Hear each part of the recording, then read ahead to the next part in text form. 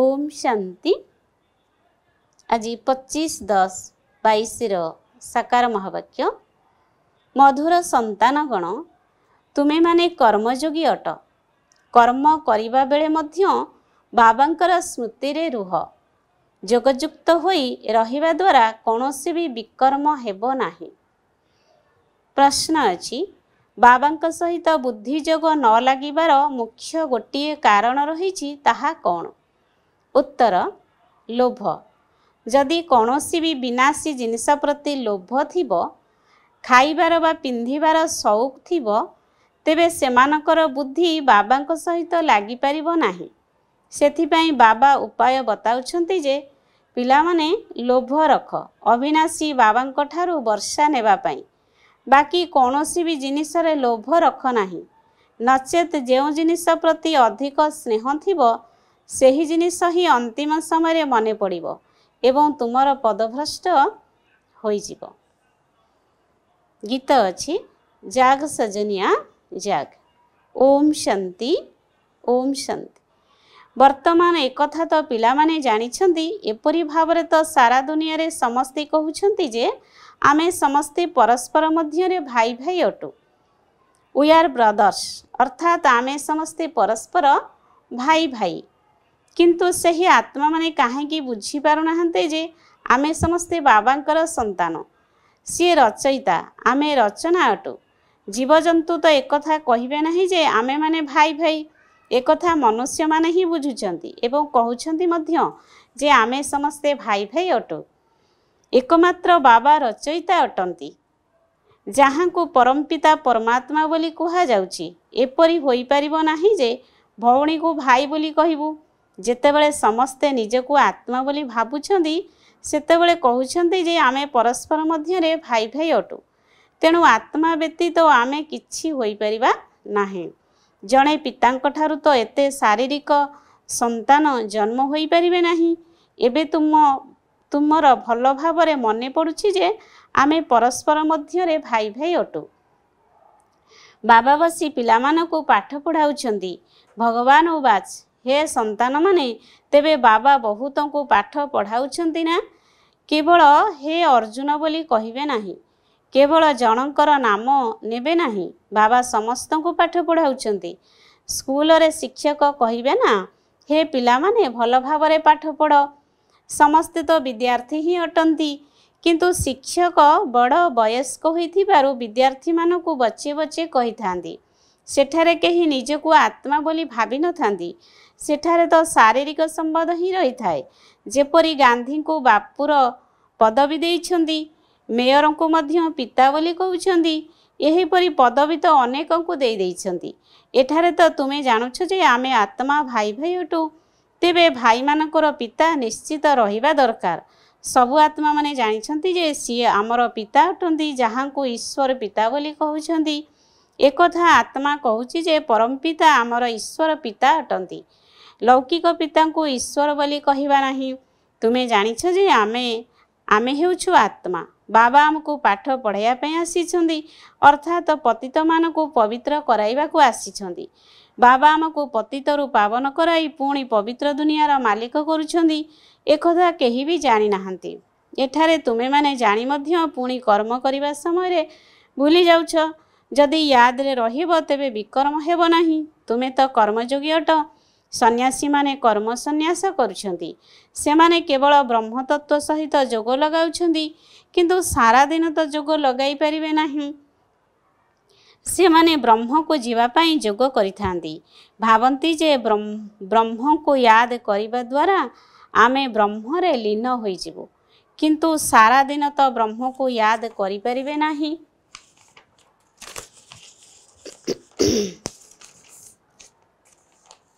ଏବଂ ସେହି ସ୍ମୃତି ଦ୍ୱାରା ବିକର୍ମ ମଧ୍ୟ ବିନାଶ ହୋଇନଥାଏ ପତିତ ପାବନ ବୋଲି ଗାୟନ ରହିଛି ଇଏ ତ ବାବା ହିଁ ଅଟନ୍ତି। ଏପରି ତ କହନ୍ତି ନାହିଁ ଯେ ପତିତ ପାବନ ବ୍ରହ୍ମ ଅଥବା ପତିତ ପାବନ ତତ୍ତ୍ୱ। ସମସ୍ତେ ଶିବ ବାବାଙ୍କୁ ହିଁ ପତିତ ପାବନ କହୁଛନ୍ତି।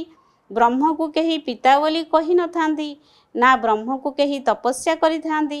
ସମସ୍ତେ ଶିବଙ୍କୁ ହିଁ ତପସ୍ୟା କରିଥାନ୍ତି। ଶିବଙ୍କର ମନ୍ଦିର ମଧ୍ୟ ଅଛି। ତତ୍ତ୍ୱର କ'ଣ ମନ୍ଦିର ହୋଇପାରିବ କି? ବ୍ରହ୍ମରେ ତ ଅଣ୍ଡା ସଦୃଶ ଆତ୍ମାମାନେ ରହିଥାନ୍ତି ସେଥିପାଇଁ ଶାସ୍ତ୍ରରେ ବ୍ରହ୍ମାଣ୍ଡ କୁହାଯାଇଛି। ଏପରି ନାମ କିଛି ହେଲେ ନାହିଁ ତାହା ତ ଘରେ ଅଟେ।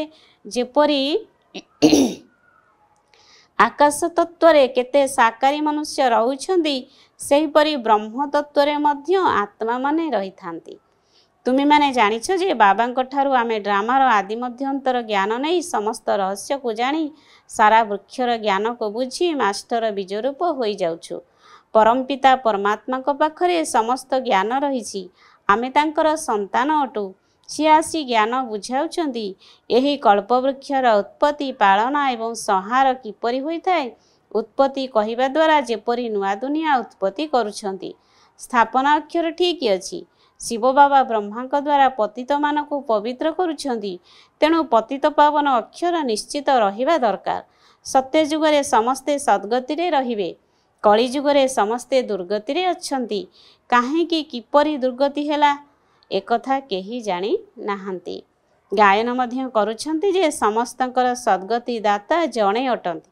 ଆତ୍ମା ଜାଣିଛି ଯେ ଏହା ହେଉଛି ଏକ ଖେଳ। ସଦାଶିବ କହି ବାବାଙ୍କର ମହିମା ଗାୟନ କରୁଛନ୍ତି।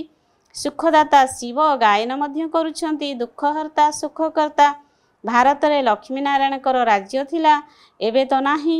ଲକ୍ଷ୍ମୀନାରାୟଣଙ୍କୁ ଭଗବତୀ ଭଗବାନ କହୁଛନ୍ତି ତାଙ୍କର ରାଜଧାନୀ କିଏ ସ୍ଥାପନ କଲା? ଭଗବାନ ନିରାକାର ତାଙ୍କଠାରୁ ଆତ୍ମାମାନେ ବର୍ଷା ଅର୍ଥାତ୍ ସ୍ୱର୍ଗର ସମ୍ପତ୍ତି ପାଉଛନ୍ତି। ଆତ୍ମା ହିଁ ଚଉରାଅଶୀ ଜନ୍ମ ନେଇ ନେଇ ଅଧପତନ ଅବସ୍ଥାକୁ ଆସିଯାଇଛି ପତିତ ହୋଇ ଦୁର୍ଗତିକୁ ପ୍ରାପ୍ତ କରିଛି। ଏକଥା ବୁଝାଇବାକୁ ହେବ ଯେ ପରମାତ୍ମା ସର୍ବବ୍ୟାପୀ ନୁହନ୍ତି ଶିବ ବାବା ସଦ୍ଗତିଦାତା ଅଟନ୍ତି ଆମେ ସମସ୍ତେ ଭାଇ ଭାଇ ଅଟୁ ପିତା ନୁହୁଁ ଏକଥା କୁହାଯାଏ ନାହିଁ ଯେ ପିତା ଭାଇର ରୂପ ଧାରଣ କରେ ନା ସେଥିପାଇଁ ଏହି କଥା ପ୍ରଥମେ କୁହ ଯେ ପରମପିତା ପରମାତ୍ମାଙ୍କ ସହିତ ଆମର କ'ଣ ସମ୍ବନ୍ଧ ରହିଛି?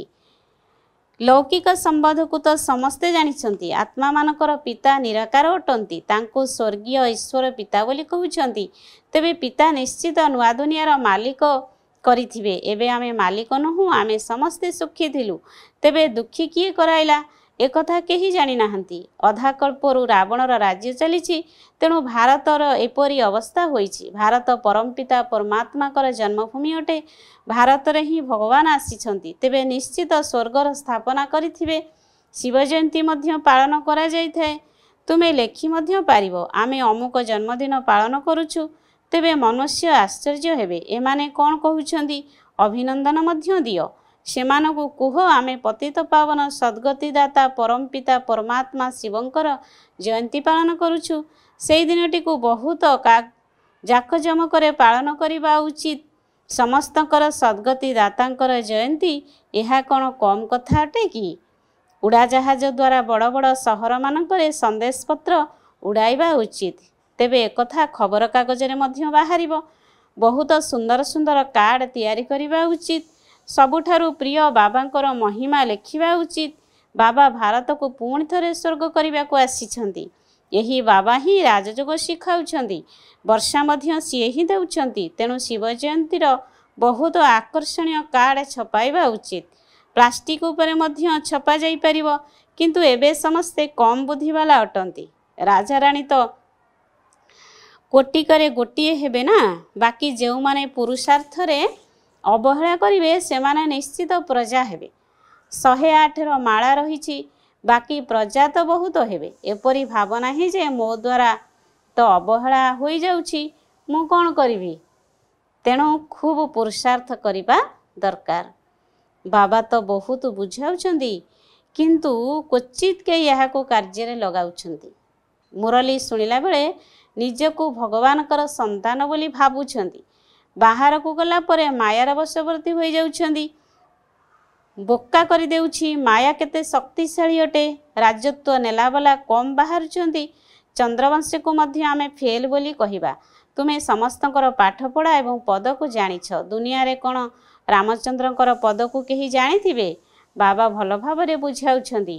କିପରି ଆମେ ଶିବ ଜୟନ୍ତୀ ପାଇଁ ଫାଷ୍ଟ କ୍ଲାସ୍ ନିମନ୍ତ୍ରଣ ପତ୍ର ବନାଇବାକୁ ଯାହାଦ୍ୱାରା ମନୁଷ୍ୟମାନେ ଚକିତ ହୋଇଯିବେ? ବିଚାର ସାଗର ମନ୍ଥନ କରିବାର ଗାୟନ ରହିଛି ଶିବ ବାବା କ'ଣ ବିଚାର ସାଗର ମନ୍ଥନ କରିବେ? ଏହା ହେଉଛି ପିଲାମାନଙ୍କର କାର୍ଯ୍ୟ। ବାବା ରାୟ ଦେଉଛନ୍ତି ଯଦି କାହାର ବୁଦ୍ଧିରେ ଆସୁଛି ବା ବୁଝିପାରୁଛନ୍ତି କିନ୍ତୁ କାର୍ଯ୍ୟରେ କରୁନାହାନ୍ତି ତେବେ ବାବା ତାଙ୍କୁ ନିର୍ବୋଧ ବୋଲି କହିବେ। ପିଲାମାନେ ଜାଣିଛନ୍ତି ଯେ ପରମପିତା ପରମାତ୍ମା ଆମକୁ ବ୍ରହ୍ମାଙ୍କ ଦ୍ୱାରା ବିଷ୍ଣୁପୁରୀର ମାଲିକ କରୁଛନ୍ତି। ଶଙ୍କରଙ୍କ ଦ୍ୱାରା ବିନାଶ ହେବାର ଅଛି। ତ୍ରିମୂର୍ତ୍ତି ଉପରେ ରହିଛନ୍ତି। ତୁମେ ସମସ୍ତେ ପଣ୍ଡା ଅଟ ଯେଉଁମାନେ କି ରୁହାଣୀ ଯାତ୍ରା ଶିଖାଉଛ ତୁମେ ମଧ୍ୟ ଲେଖିପାରିବ ସତ୍ୟମେବ ଜୟତେ। ବାସ୍ତବରେ ସତ୍ୟ ବାବା ଆମକୁ ବିଜୟୀ ହେବା ଶିଖାଉଛନ୍ତି ଅଥବା ବିଜୟ ବିଜୟ ପ୍ରାପ୍ତ କରାଉଛନ୍ତି। କେହି ଯଦି ଅଭିଯୋଗ କରୁଛନ୍ତି ତେବେ ସେମାନଙ୍କୁ ବୁଝାଇବାକୁ ହେବ। ବାବାଙ୍କର ବିଚାର ଚାଲୁଛି ଯେ ଶିବ ଜୟନ୍ତୀ କିପରି ପାଳନ କରିବା ଉଚିତ।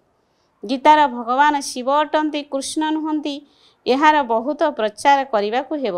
ଶିବ ବାବା ରଚୟିତା କୃଷ୍ଣ ରଚନା ଅଟନ୍ତି।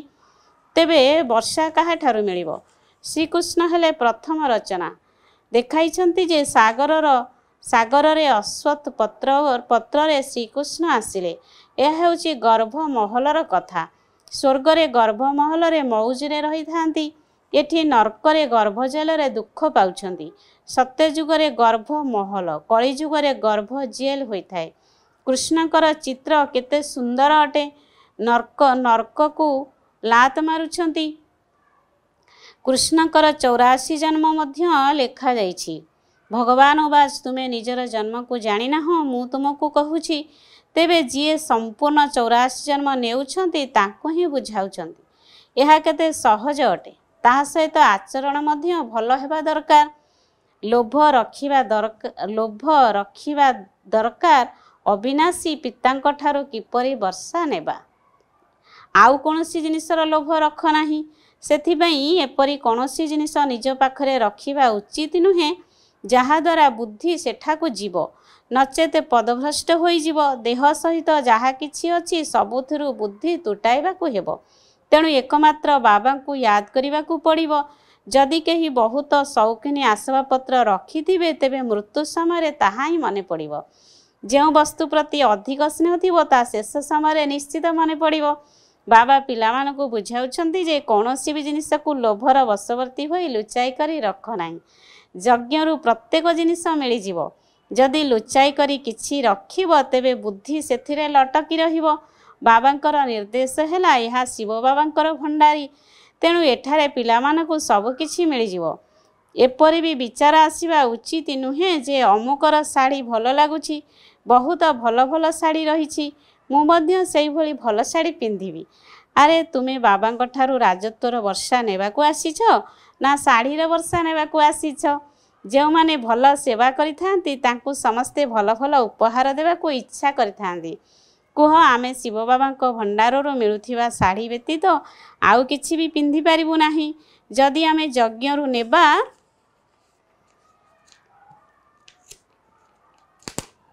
ତେବେ ବାବାଙ୍କର ୟାଦ ରହିବ। ଶିବ ବାବାଙ୍କର ଭଣ୍ଡାରରୁ ଏହା ଆମକୁ ମିଳିଲା। ନଚେତ ଚୋରି ଆଦିର ଅଭ୍ୟାସ ହୋଇଯାଇଥାଏ। ଆରେ ଏଠାରେ ଯଦି ତ୍ୟାଗ କରିବ ତେବେ ସେଠାରେ ବହୁତ ଫାଷ୍ଟ କ୍ଲାସ୍ ଜିନିଷ ମିଳିବ। କେଉଁଠି କେଉଁଠି ଶିବ ବାବାଙ୍କର ପିଲାମାନଙ୍କର ପରୀକ୍ଷା ମଧ୍ୟ ନେଇଥାନ୍ତି। ଦେଖିବା ଏହାଙ୍କ ପାଖରେ କେତେ ଦେହ ଅଭିମାନ ଅଛି। ତୁମର ପ୍ରତିଜ୍ଞା ହେଲା ଯାହା ଖୁଆଇବ ଯାହା ପିନ୍ଧିବାକୁ ଦେବ ଆଦି। ମନରେ ଭାବିବା ଦରକାର ଯେ ଏହା ଶିବ ବାବା ଦେଉଛନ୍ତି। ଏହିପରି ଫାଷ୍ଟ କ୍ଲାସ୍ ଅବସ୍ଥା ହେବା ଉଚିତ। ଯଦି ବାବାଙ୍କ ଠାରୁ ସମ୍ପୂର୍ଣ୍ଣ ବର୍ଷା ନେବାର ଅଛି ତ ପୁରା ପୁରୁଷାର୍ଥ କର ବାବାଙ୍କର ମତ ଅନୁସାରେ ଚାଲ। ଯଦି ବାବା ମମା ବୋଲି କହୁଛ ତେବେ ପୁରା ପୁରା ଅନୁକରଣ କର। ସମସ୍ତଙ୍କୁ ରାସ୍ତା ବତାଅ। ଆମକୁ ବାବାଙ୍କ ଠାରୁ ବର୍ଷା ମିଳିଥିଲା ଏବେ ପୁନର୍ବାର ମିଳୁଛି। ତେଣୁ ୟାଦର ଯାତ୍ରା କରିଚାଲ। ବାବା ବୁଝାଉଛନ୍ତି ତୁମେ ଯେତେ ଶକ୍ତିଶାଳୀ ହେବ ମାୟା ସେତେ ଜୋରରେ ଆସିବ। ତୁମେ ଦ୍ୱନ୍ଦ୍ୱରେ କାହିଁକି ପଡ଼ିଯାଉଛ? କେହି କେହି ପିଲାମାନଙ୍କୁ ବାବା ଲେଖୁଛନ୍ତି ଯେ ତୁମେ ତ ବହୁତ ଭଲ ସେବାଧାରୀ ଅଟ। ମାୟାର ତୋଫାନ ଆସିବ ସାରା ଜୀବନ କ'ଣ ବ୍ରହ୍ମଚର୍ଯ୍ୟରେ ରହିବ? ବୃଦ୍ଧ ବୟସରେ ମଧ୍ୟ ଖିଆଲ ଆସିବ ଯେ ବିବାହ କରିବୁ ଏପରି କରିବୁ ମାୟା ବୁଢ଼ାକୁ ମଧ୍ୟ ଜବାନ କରିଦେବ। ଏପରି କରି ମାୟା କଚାଡ଼ି ଦେବ ତୁମେ ଡରୁଛ କାହିଁକି? ଯଦିଓ କେବେ ବି ତୋଫାନ ଆସୁ ବାବାଙ୍କୁ ୟାଦ କରିବା ଦ୍ୱାରା ତୁମେ ବଞ୍ଚିଯିବ। ଆଚ୍ଛା ମିଠା ମିଠା ଶିଖିଲେ ଧେ ସନ୍ତାନମାନଙ୍କ ପ୍ରତି ମାତ ପିତା ବାପଦାଦାଙ୍କର ମଧୁର ସ୍ନେହଭରା ସ୍ମୃତି ଏବଂ ସୁପ୍ରଭାତ। ଆତ୍ମିକ ପିତାଙ୍କର ଆତ୍ମିକ ସିନ୍- ସନ୍ତାନମାନଙ୍କୁ ନମସ୍ତେ। ଆତ୍ମିକ ସନ୍ତାନମାନଙ୍କର ଆତ୍ମିକ ମାତ ପିତା ବାପଦାଦାଙ୍କୁ ନମସ୍ତେ ନମସ୍ତେ ନମସ୍ତେ। ମୁଖ୍ୟ ସାର ଏକ ନମ୍ବର। ଲୋଭର ବଶବର୍ତ୍ତୀ ହୋଇ କୌଣସି ବି ଜିନିଷ ନିଜ ପାଖରେ ଲୁଚାଇ ରଖିବାର ନାହିଁ। ବାବାଙ୍କର ନିର୍ଦ୍ଦେଶ ଅନୁଯାୟୀ ସଦାସର୍ବଦା ଚାଲିବାର ଅଛି। ଦୁଇ ନମ୍ବର ବାବା ଯାହା ଖୁଆଇବେ ଯାହା ପିନ୍ଧିବାକୁ ଦେବେ ଏକମାତ୍ର ଶିବ ବାବାଙ୍କ ଭଣ୍ଡାରରୁ ହିଁ ନେବାର ଅଛି। ଦେହ ଅଭିମାନରେ ଆସିବାର ନାହିଁ ମମା ବାବାଙ୍କୁ ପୁରା ଅନୁକରଣ କରିବାର ଅଛି। ଆଜିର ବରଦାନ ଅଛି ସର୍ବ ସମ୍ପତ୍ତିକୁ ବାଣ୍ଟିବା ଆଧାରରେ ବୃଦ୍ଧି କରିବା ସହିତ ସର୍ବଦା ଭରପୁର ରହୁଥିବା ବାଳକ ତଥା ମାଲିକ ହୁଅ। ବାବା ନିଜର ସମସ୍ତ ସନ୍ତାନମାନଙ୍କୁ ସମାନ ପରିମାଣର ସମ୍ପତ୍ତି ଦେଇ ନିଜର ବାଳକ ହିସାବରେ ମାଲିକ କରିଦେଇଛନ୍ତି। ସମ୍ପତ୍ତି କିନ୍ତୁ ସମସ୍ତଙ୍କୁ ଏକାଭଳି ହିଁ ମିଳିଛି। ତଥାପି ମଧ୍ୟ କେହି ଯଦି ଭରପୁର ନୁହନ୍ତି ତେବେ ଏହାର କାରଣ ହେଲା ସମ୍ପତ୍ତିର ରକ୍ଷଣାବେକ୍ଷଣ କରିବା ବା ବୃଦ୍ଧି କରିବାର ବିଧି ଜଣା ନାହିଁ। ତେବେ ବୃଦ୍ଧି କରିବାର ବିଧି ହେଲା ବାଣ୍ଟିବା ଏବଂ ରକ୍ଷଣାବେକ୍ଷଣ କରିବାର ବିଧି ହେଲା ବାରମ୍ବାର ଚେକ୍ କରିବା। ଯଦି ଆଟେନସନ୍ ଅର୍ଥାତ୍ ଧ୍ୟାନ ଦେବା ଏବଂ ଚେକିଂ କରିବା ଏହି ଦୁଇଟି ଯାକ ଜଗୁଆଳି ଠିକ୍ ଥିବେ ତେବେ ସମ୍ପତ୍ତି ସର୍ବଦା ସୁରକ୍ଷିତ ରହିଥିବ।